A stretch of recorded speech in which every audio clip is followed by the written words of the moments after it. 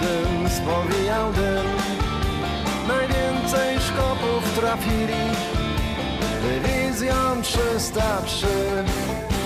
Angielki za nimi szalały Choć Londyn spowijał dym A oni na Polskę czekali